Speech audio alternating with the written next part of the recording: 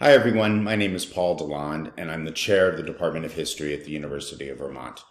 I wanted to take just a few minutes today to congratulate our 2021 graduates. Many of you have worked very hard to complete bachelor's degrees in history, master's degrees in history, and Master of Science degrees in historic preservation. We're very proud of the work you've accomplished over the years that you've been at the University of Vermont, and we thank you for your contributions to the department. It's an absolute pleasure to work with you. It's been an absolute pleasure to see your intellectual growth over the years, and we look forward to hearing about what you accomplish in the future.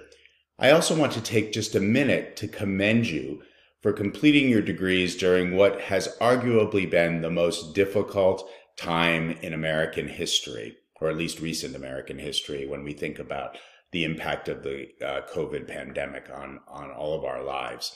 You persevered. Um, you were incredibly patient. You were incredibly kind.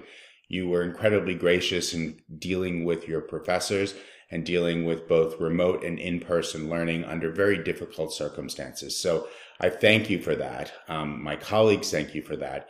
And we um, want to just acknowledge that your accomplishments during the past year are even that much more impressive, given that you had to contend with the problems associated with COVID.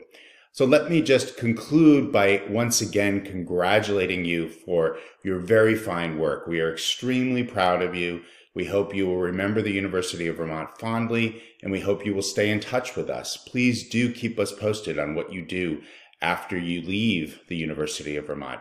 We always love to hear about that, and we always love to celebrate the contributions that our former students are making to the wider world. So stay in touch, um, remember us fondly, and uh, continue to persevere, do great work, and the best of luck in the future. So thanks very much. We look forward to keeping in touch and hearing from you soon. Bye.